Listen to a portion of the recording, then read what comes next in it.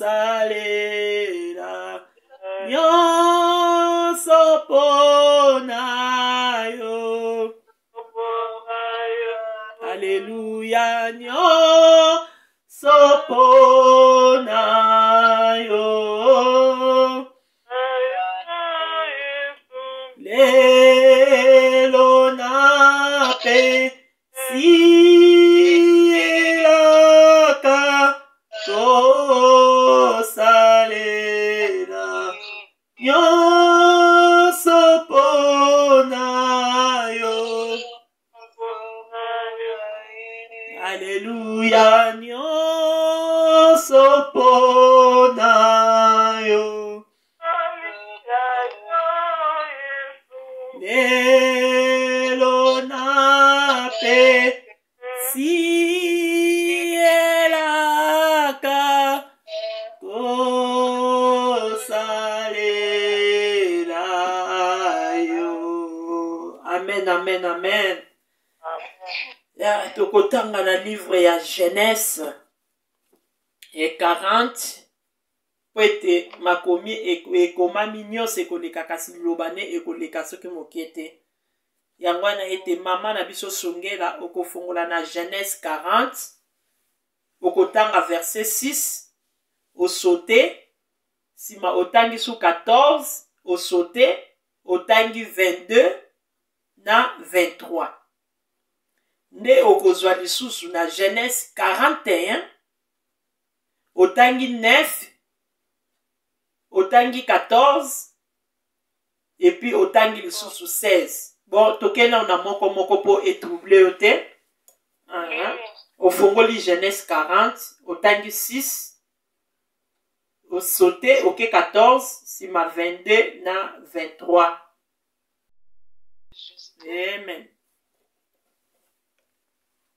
Na tongo, Jozefi aye epai na bango mpe amoni bango balembi nzoto. Amen. Amen. 14 nsima otangi su 14 nsima 22 23 Amen. Natangi na kombo na Yesu. amina 14 elobi kasi ntango makambo na yo Ekobonga, kanisa ngai, salisa ngai, mpe yebisa likambo na ngai epai ya, ya mokonzi monene ya Egypte, mpo abimisa ngai na boloko. Amen. Amen. Na 22, na 22, 22 balobi, 23. Mhm. 22 balobi kasi apesi mitindo ete batia kapita ya Kikuku singa na kino pe ba boma ye ba boma ye asala esalamaki bobele ndenge Joseph alimbolaki kasi kapita ya ya masanga akanisaki Joseph lisusu te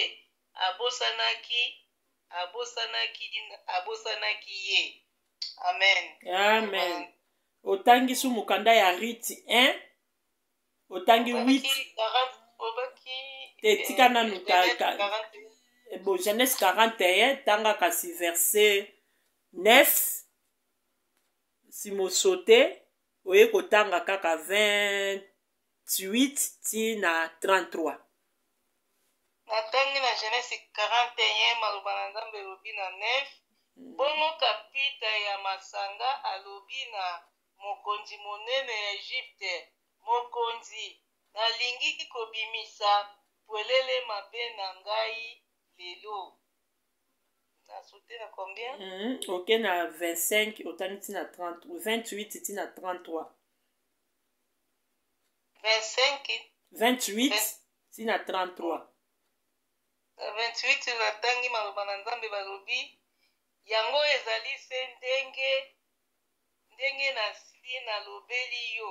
nzambe ayebisi yo likambo ye alingi kosala na, na mikolo alingi kosala na mikolo ekoya. Mbula sambo ezali koya, bilei ekotonda na Egypte. Sima na yango, mbula sambo ya, ya nzala makasi ekoya, pe bato bakobosana mbula sambo ya bilei mingi, po nzala ekobebisa mboka pamba, te ekozala makasi koleka soki ndoto yango eyaki mbala mibale, ezali se mpo Nzambe moto akani likambo yango mpe akokokisa yango noki. Akokokisa yango noki. Sikoyo,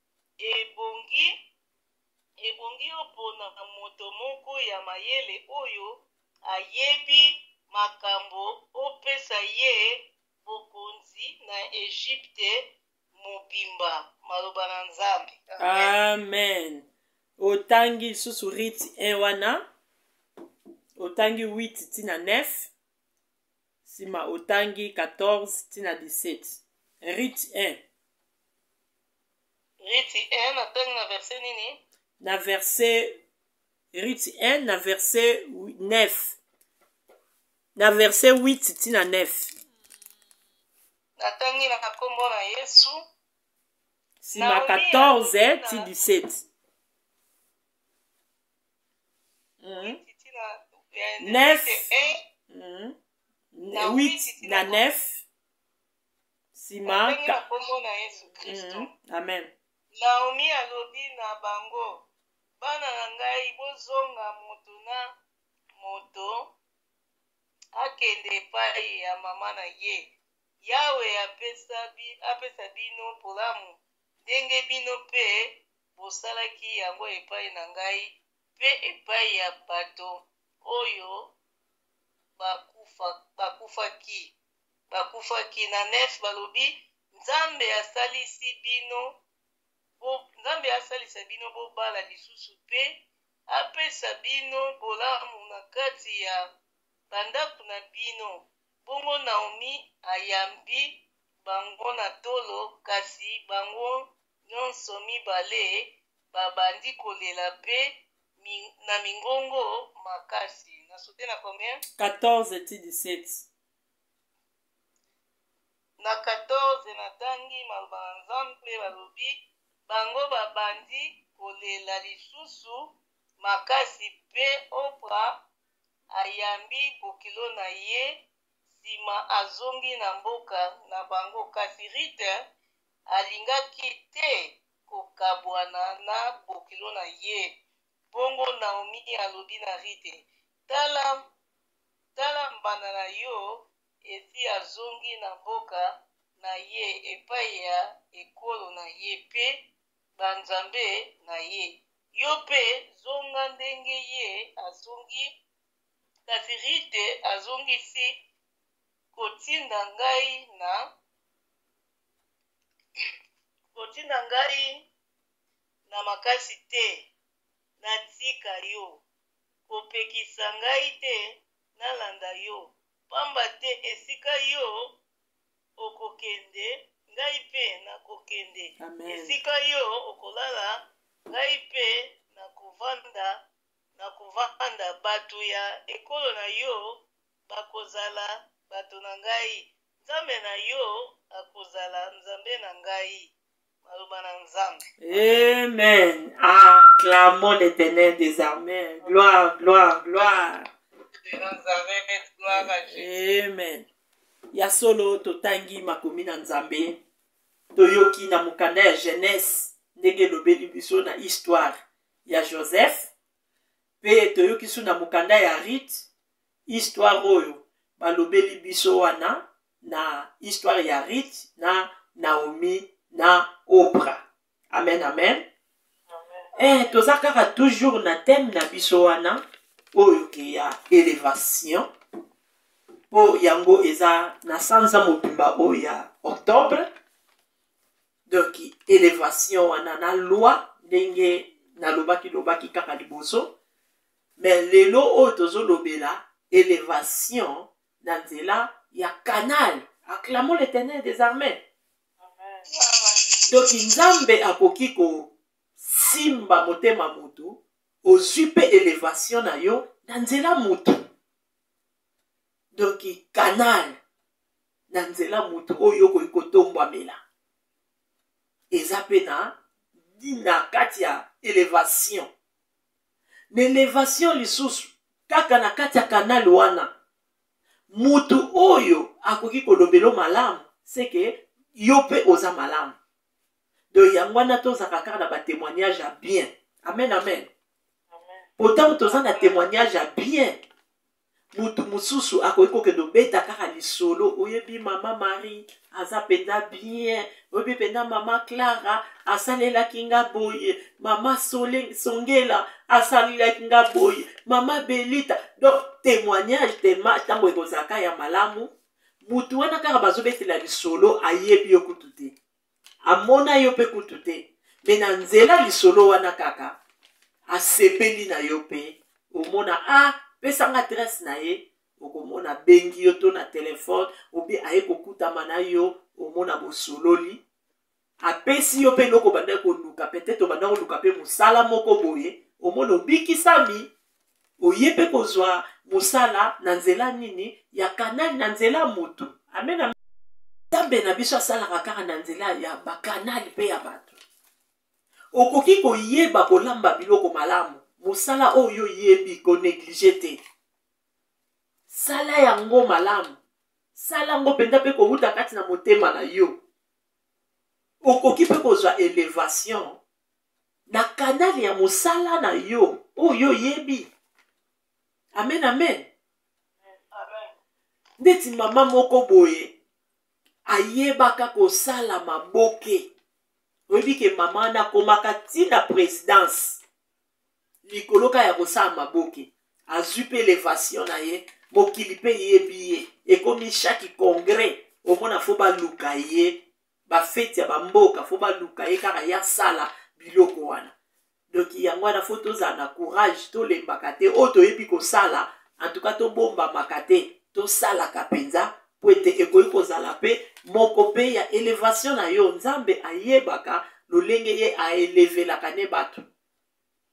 okoki kozala mpe eleve na nini na don spirituel acclamo l'éternel des armées donc spirituel okomona oyebi kopreside donc moto alobaka bien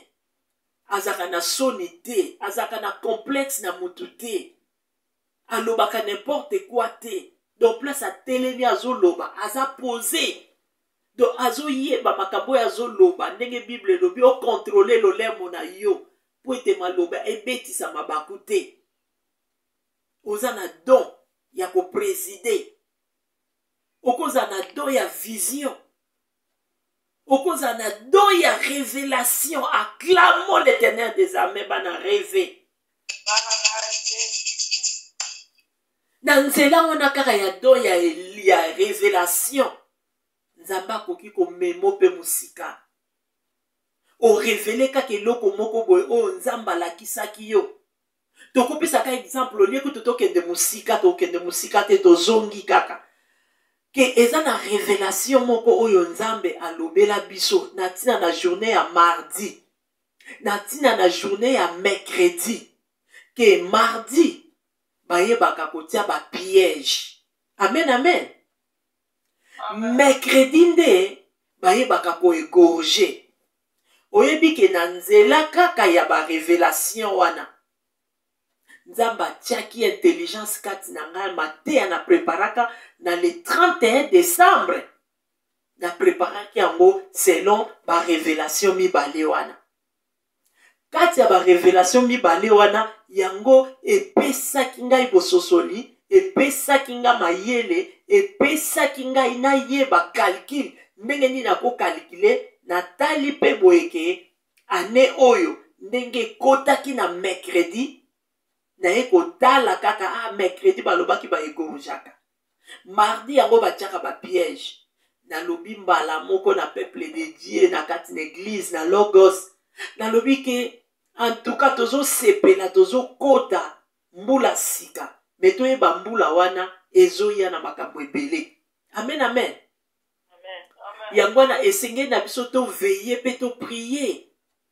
pourkoi toveye mpo toprie mpo ete nzambe na biso alobelaka biso na revelation oyo se eleka nango kala ke mardi batiaka bapiège mercredi yango baegorgeaka yango wana lokola sanza ane oyo ezokota mercredi toyeba ete kufa ekozala ebele mpe ane yango oyo ekozala mpe na makambo ebele ya mpasi ya mabe mpe mpo soki tomultiplie 20 plus 20 wana epesi 40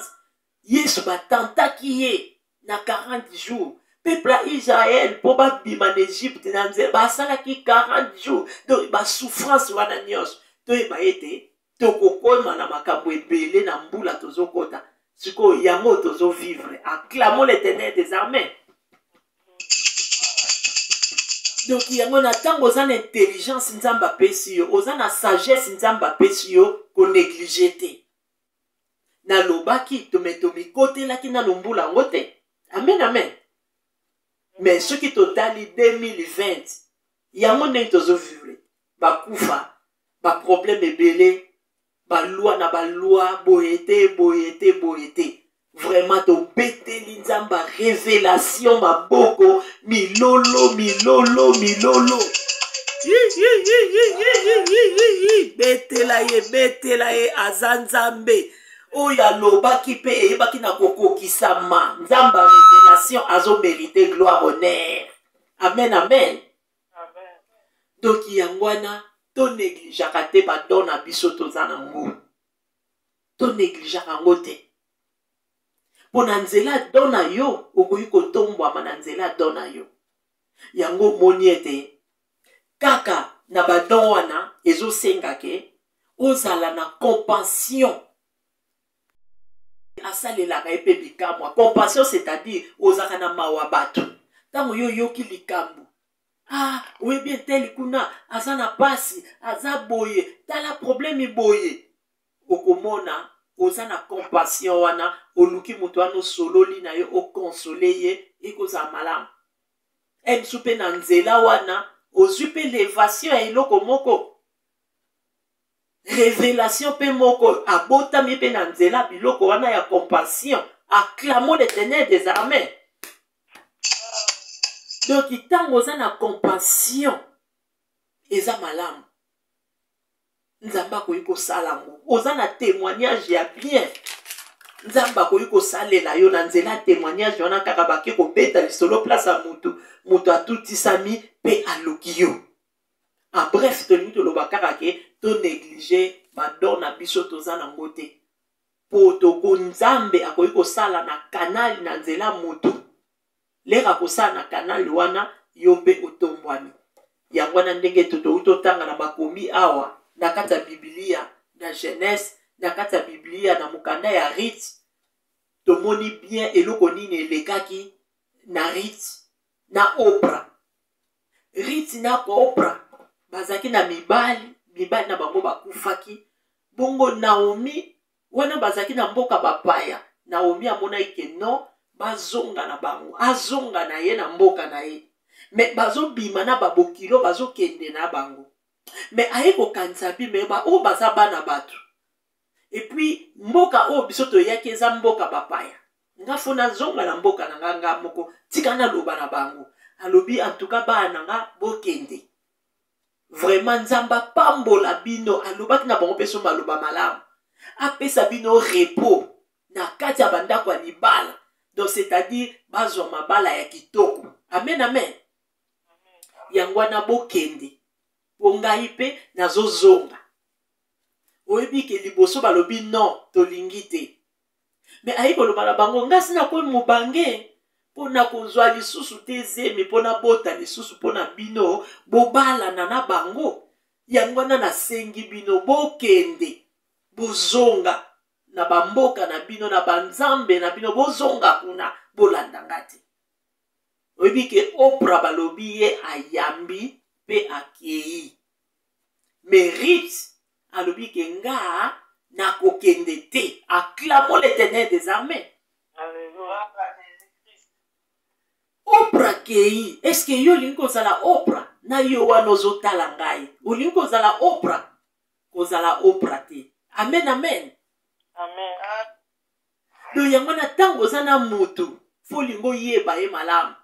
naomi ayebaki motu wana ayebaki enani eh, riti ayebaki naomi malamu ayebi ke mm, mama oyo aza na nzambe ya bomoi na nzela ya nzambe ya mama oyo mm. vraiment nakozwa oyo eza elevation mpo bango epai na bango na mboka na bango bazalaki na banzambe oyo ya kokufa oyo balobaka te oyo batambolaka te oyo balesaka bango kolesa abi te ngai nakozongela banzambe wana te richa boy alobi ngai nakolanda yo epai nyonso yo kokende ngai nakolanda yo kolinga te ke ngai natika yo ngai nazolanda yo nzambe na yo azala mpe nzambe na nga aklamo ah, letenel des armées donki aponaki nzambe ya bomoi alandaki rite alandaki naomi naomi mpe amoni te alobi na ye bien aboyi ne kozonga alors nakende na ye kaka donc bakendeki soki tolandi histoire wana ntina suka kuna okomona ete asungaki sungaki ye lisusu na nzela conseil kino suka mpe ye mpe asalelaki conseil wana tomoni ete riti azwaka libala aclamo l'éternel des armées azwaki azwaki elevation na ye ya libala na kanali ya nani na kanali ya naomi naomi na yo nani naomi na yo akozala pastere na yo akozala moninga na yo naomi na yo akozala mpe na kati ya famille na kati mpa mosala oyo ozomonaki azoencourageaka yo oyo ozomona ete asungaka yo bato ya bongo balashaka bango te bakangamaka na bango amen amen balobi bien ke riti asatachaki na naomi atikaki ye te opra nde moto atikaki ake na ye me riti asatachaki po tomonaka mpe ata misala oyo kaka tozwaka mingimingi tozwaka yango mpe kaka na nzela bakanale amen amen okomona bapistole oyo ah, kuna bazoluka motu azela ah, soki bazoluka motu nakobenga yo do yango wana bakanali na biso tonegligeaka yango te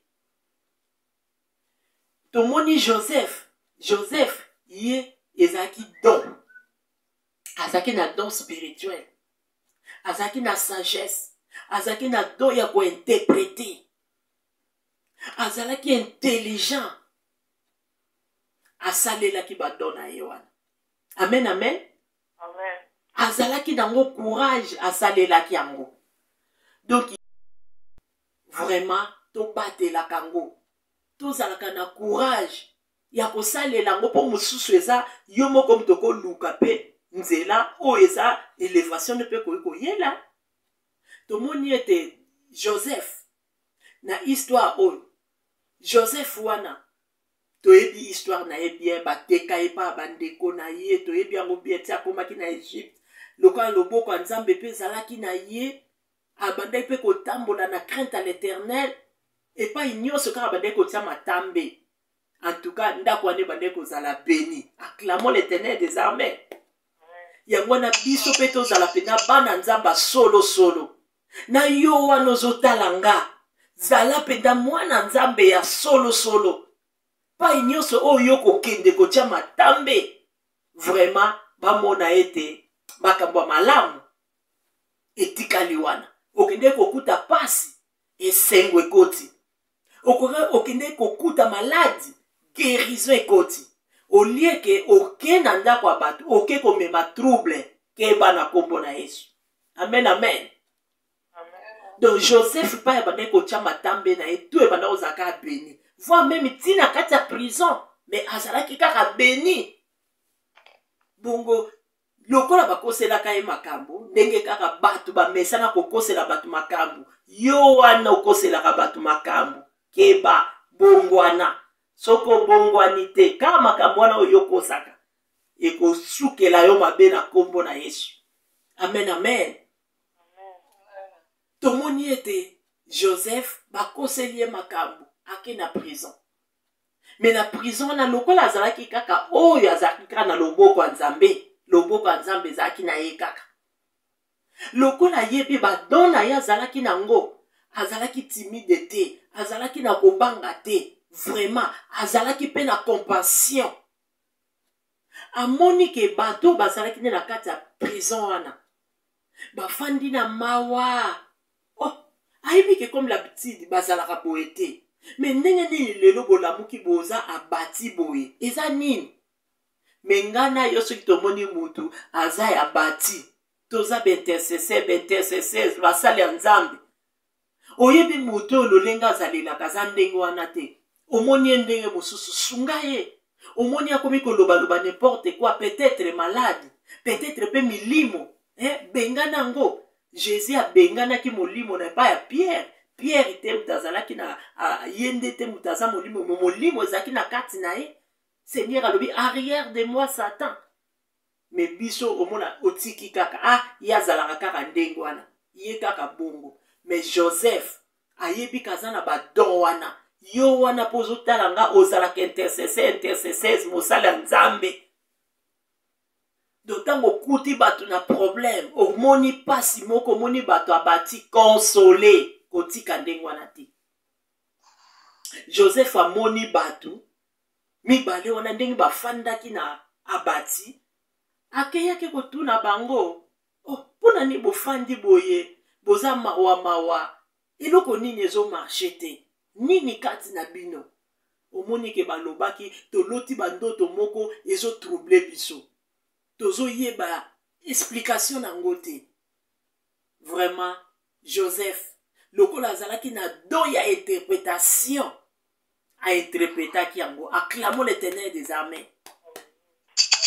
akendaki yango na kofonde fonde te yo wana ozwaka barevelation ozwaka bandoto oyo interpretaka yango mabe soki oyebi interpretation te tika na nkombo na yesu luka bato bakoki kosunga yo mpo bainterprete yango na ndenge malamu amen amen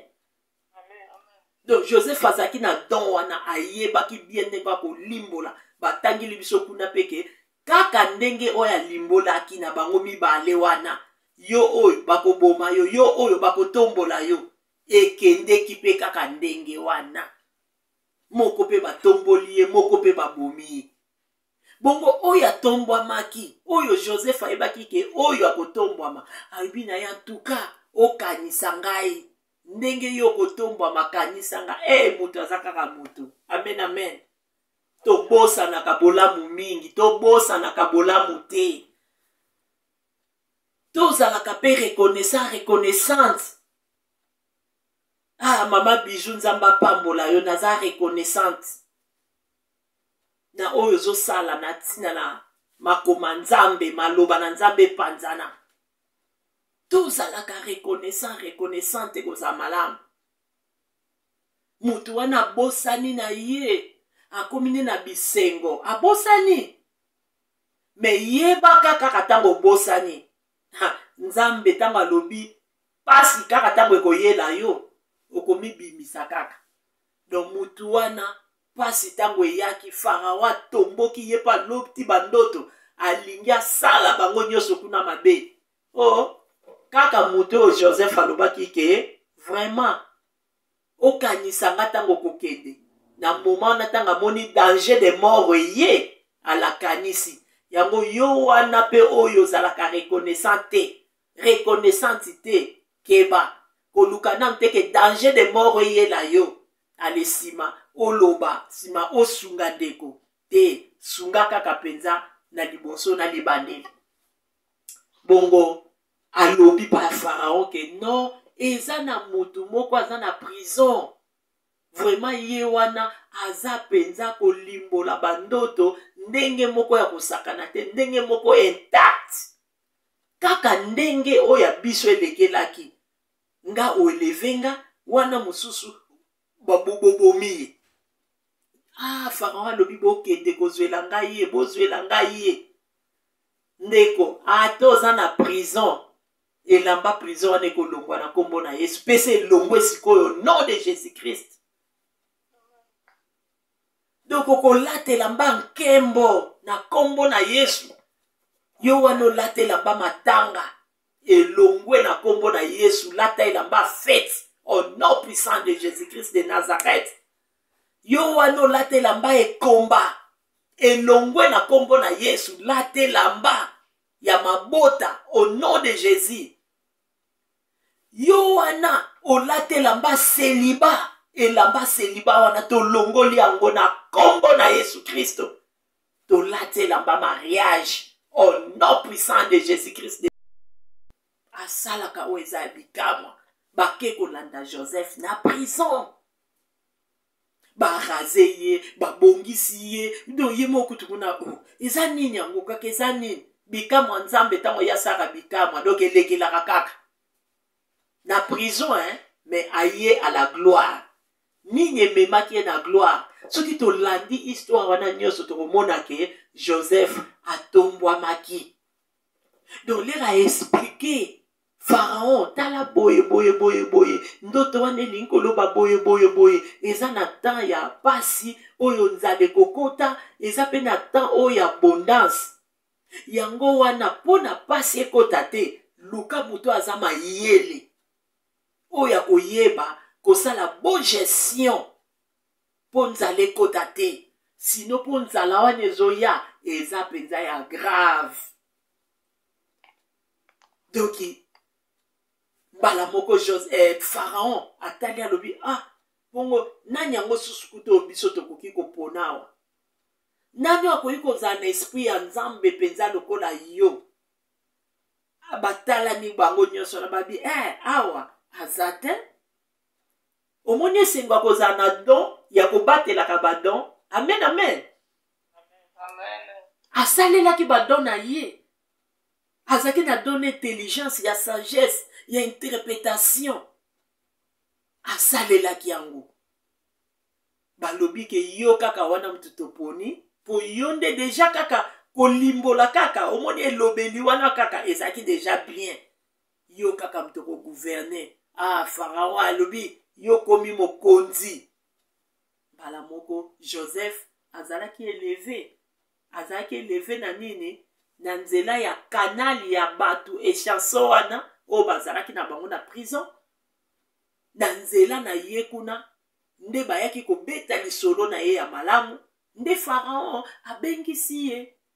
yango wana bandeko na nga bana revelation monde entier tosalaka kaka malamu mpo ntango tozosala malamu malamu wana ekofongolela biso bakanali ya ndenge na ndenge mosala wana mpe oyo oyebi na kosala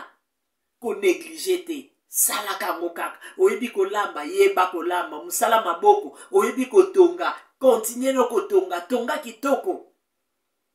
ekoki kotombola yo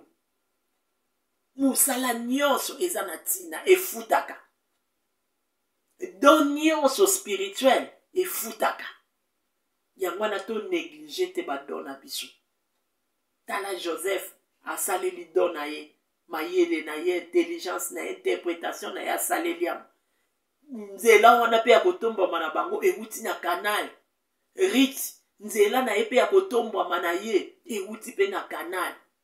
do yango wana tobatelaka bakanal na biso tobatelaka yango bien toswaniaka yango malamu ntango tozo koswani yango mpenza bien ekozala bien mpo oyebi te petete na nzela na yo ngai nakoki kotombwama petete na nzela na nga yo okoki kotombwama donc soki moto aya kodekurageaka yo pambapamba ndenge pisome 1 kuna ekomami kuna ke aza na ye mauvais compagnon mpo ba mauvais compagnon mpe baza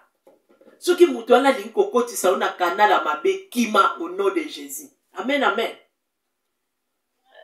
o oh, nayebi kuna kuna na magasin wana eza pepele yaka na yo ngai na bando otalela yo bongo yo yibaka na yo yaka donc kanala mabe toboya yango na nkombo na yesu mpo salaire du péché ememaka na suda ememaka kaka na liwa bakanali oyo ya bien yango wana nde biso tozalaka nango me kanali oyo ya mabe yango wana te tozalaka nango mpo mosusu okomona a ah, te bateyaki biso balobaki tokotombwama na nzela kanali ale moto wana oyo ye alobi no yaka tokende bonganga ale yo mpo okei wana eza kanala mabe ndeko kolanda yango te na nkombo na yesu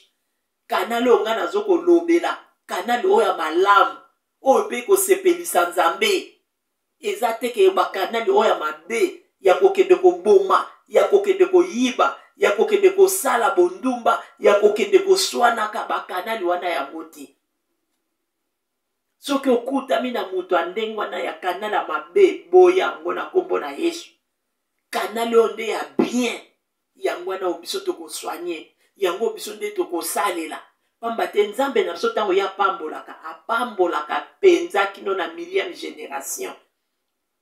yango wana tonéglige te élévation eyaka nango na nzela canal mpe canal wana na témoignage no malamu na compassion na yo na oyo nyonso ozosalaka ya bien na mosala na yo mutu kaka ake kobeta lisolo baluki yo toza na baconnaissance mosusu tozwaka eza kaka na nzela lisolo eh? naza na kanali ya papa sami o oh, nzambe papa sami papa sami lukau profete o oh, nzambe apambola yo oprofetizaka kaka oyo oh, eza kokokisama na nkombo na yesu kanali wana ebimaki na nzela nani na nzela ya jean paul ya petit frère azobeta lisolo antuka mamono tozalaki na ye bien tala boye boye boye donc témoignage wana ebota sikoyo oyo eza contact wana contact wana lelo biso nyonso mpe na kati ya révélation toprofitaka nango mpe amen amen donc canal banegligeaka te bolamu na biso tobombaka te tosalaka mais avec prière po misusu ntango yo ozosala bolamu moto mosusu amoneli yo abi a ah, ye azalaka na ye maboko pete a ah, ye azalaka na ye boye do akomisi yo lokola servitude yo wana olukaka kolela bana nzambe bana nzambe baprofitaka na bango te yo wana soki oprofitaka na ndenge mabe keba nzambe akobeta yo akokanga nyonso okozala na eloko te donki tomoni ete bakanal motu na moto mpe aza mpe na kanal oyo ezalaki a ah, te nazwa kanal ya boye na nzela boye ata kanal ya jonathan eya na nzela mama sophie mama sophie nzambe apambola yo kanali wana eya na nzela mama sophie na compassion wana nakenda namonana mpe na mwana biso jonathan nakoma mpe kokende kotala bango ekoma mpe famille donc kanali to negligaka te to negligaka te mpo tokoki kobongama kaka na nzela kana bakanali na biso me bakanali ya bien nazoloba nazorepete bakanali oyo ya bien oyo ebimisaka mai ya malamu te oyo ebimisaka mai ya mabe bama ya mabe c'est-à-dire ya bamakambo ya mabe ya kotinda toke na bonganga ya kotinda toke na kindumba ya kotinda toke na moyibi wana te ya kotinda toke tokosa wana te me kanali oyo ya bien ntango oza na kanali no ya malamu batela yango vraiment nzambe aza malamu oyo tokaki kolobela kaka na ntina na elevation wana na nzela kanal yango oyo na kati ya bible tomoni batangi oyo bandeko na biso wana batangi topesi mpe batemoignage oyo eza mpe ke kanal ya revelation kanal oyo mpe susu nayaki kobima na nzela oyo lelo oyo eza mpe na nzela ya meje eza mpe kanal nzambe apambola mpe mege apambola mpe na logos papa arma o oh, babiju bozala kaka boye na komikitisa mpo paster nyonso tute alingaka kotika shere na ye azomona yango shere na ye azokoetufe oyo eza misala ya baninga misusu alingi ye kaka bamonaka ye ye kaka alobaka keba yo pastere wana keba oyo eza bado ya bato na kati eglize kokanga badon na bango te tika bango bazala eleve na badon nzambe atie kati na bango koetufaka bango te sino kobetama oyebi yango te ke yo kuna motu mosusu likolo mosusu loboko lelo nga napesaki eloko oyo wana ke ane oyo mbula oyo bato bakokufa ebele mais ewutaki epa ya mwana na ngai ye moto azwaki revelation wana ezalaki nga te ezalaki nga te nazwi me lelo oyo yango oyo tozovivre yango wana yo paster wana oyo yokangaka keba papa arma logos mobimba nzambe apambola bino papa arma azalaka ndenge wana oyo omoni ke aza mpenza ya nzambe pesa ye place nzambe akopambola yo na nzela na yo mpe oyo ya logos lelo oyo mpe mokili mobimba bakomotala ngai mpe sikoyo facilement vraiment nzambe apambola logos mobimba amen amen vraiment nzambe na biso aza malamu tokangamaka na nzambe nzambe wana continue toujours kofungolela biso baporte oyo ya canal amen amen atindelaka biso kaka bato oyo bakoki koyaka mpe na biso oyo kaka baza malamu na ntina na biso bato oyo kaka oyo baza malamu na ntina na bana na biso bango wana kaka bayaka kaka mpe na bana na biso mpo ete tosungana biso na bango mpo ye wana akoki kozala mpe elinga mpe na akomi eleve ye kuna mpe akomi mpe eleve do tokoki kokutanisa yango biso mibale ndeti ya, ya naomi na rite mpo naomi azalaki wana deja aza na mobali te aza na mwana te eh, aza na, na, na mobali aza te bana baza te atikalaki kaka ye moko me naomi ye moko kuta alobaki bobengaka nga so naomi te nga motu nakendeki malamu me nazongi kote oyo nazongi main vide bobengaka nga mara motu oyo amonaki ke babenga ye mara me nkombo wana ebengamaki suta atikalaki naomi esengo elongwaki kati na ye ezongaki na nzela nini na nzela ya rit ye asungaki rit rit mpe asungi ye donc ekoki kokutana biso mibale yo osaleli nga nga mpe na reconnaissance wana nga mpe nasaleli yo amen amen vraiment nzambe azwa lokumu wana ezalaki na ntina na elevation kaka touti tosisa yango mpe deja na sanza oyo toyebi ke sanza yango mpe kosila nango deja lobi donc clotire mpo na elevation mais elevation esili te mpo te nzambe na biso atombolaka kaka komona te ke a ah, yango kaka octobre kaka mitese elevation nzambe yango asalaka kaka na chiffre 10 ye asalaka na ye na moma nyonso oyo alingi mutu oyo akokoma nde ye aza te donc asalaka ndenge ye alingi novembre epa kopambola decembre epa kopambola janvier epa koeleve yo me yo kangama kaka na nzambe totosa ye kaka toboya oyo eza masumu oyo ekomami na josue 1 8 wana vraimen totosa yango tosalela ekozala malamu nde tokomona bikamwa nzambe olingi succès olingi elevation bomone pesaka mpe bomone